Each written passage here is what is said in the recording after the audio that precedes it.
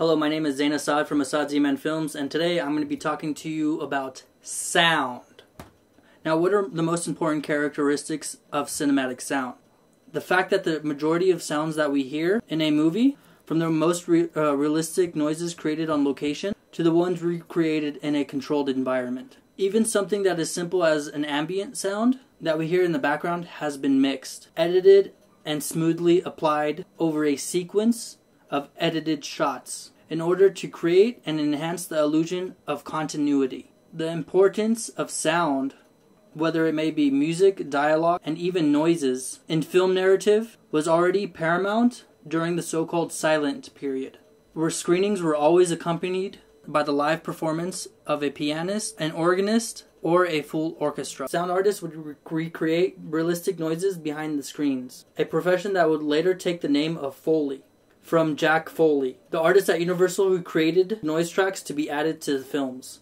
Even live dialogue was already employed in silent cinema. In Japan, for example, actors specialized in third person narration, also known as benshi. They would stand next to the screen, introduce the film, comment on the storyline, and lend their voices to the characters. The benshi accompanied screenings were so popular that the adoption of sound in cinema was, was much slower in Japan than any other country.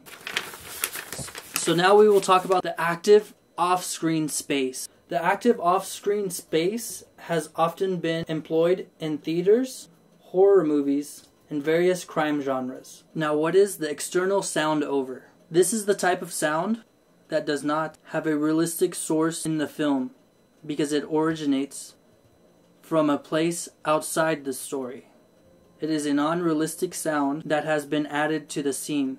A classic example of this type of sound is the voice of an external narrator talking in third person. We understand that such omniscient figure is not exactly off screen because it is above the very same universe that it describes. So cinematic sound is always the manipulation that synchronizes and mixes various sounds recorded during shooting, like noises, voices, music, together with post-production sounds music in particular in order to add in order to add fluid sound continuity to a visual experience, which is essentially fragmented into a series of shots. Nowadays, most of the sounds in a movie are the result of a post-production work, to the point that we cannot really consider the final soundtrack as part of the shooting process. However, from a narrative point of view, there is a strict interaction between sound and shot, which can be very creative when the off-screen space becomes active. Even if the sound is technically always on, because we can always hear it, we can talk about sound in, we can talk about sound in and sound off, according to the location of the sound source.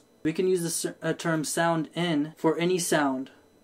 Dialogue, noises, music, whose source is visible, the sound coming out of the lips of two characters that we see talking on screen, or a song coming from a CD player that is visible on screen.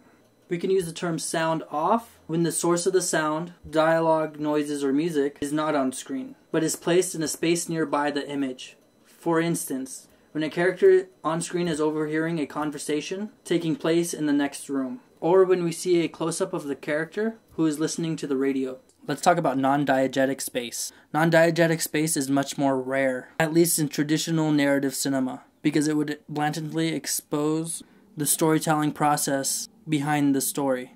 Examples of non diegetic space can be seen in some post modern movies that include scenes that don't belong to the fictional universe of the story. So, what is diegetic shift? Diegetic shift is the moment when we get so immersed into the film that we almost forget about our own existence. Our suspension of disbelief is fully active and we enter the fictional universe of the story, and according to some psychologists, even the consciousness of the main character. Our awareness of the surroundings and your consciousness is reduced to a minimum. In other terms, that is the moment where we are fully immersed in the diegetic world of the film. Diegetic shift derives from Deixis, a concept primarily used in linguistics to indicate words or phrases that cannot be fully understood without additional contextual information. Jean Luc Godard once said, All images that need to be framed are born equal and free. Movies are simply a story of their oppression. Yeah, that's just a little snippet of what sound is. There's like a whole bunch of other things and um, theories and processes of sound, and you could really like study sound for a lifetime, especially in film. I feel like until you master it. I feel like there's no way you could master sound.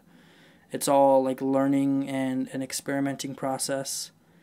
Um, I hope you guys enjoyed this video about sound. If you guys haven't already, you guys could check out my Patreon page. If you guys just donate one dollar a month, uh, that would help me pay for like things for like my actors from them acting to actually like having food on set to actually like paying to actually paying for gear and other other things.